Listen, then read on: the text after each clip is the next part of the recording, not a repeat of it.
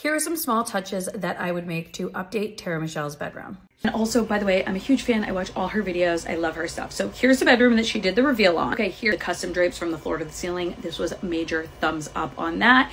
When she was ending the video, she did talk about potentially adding mirrors behind the lamps for that restoration hardware look. And here's how that would look. I definitely think that this adds the vertical height to the space that you need.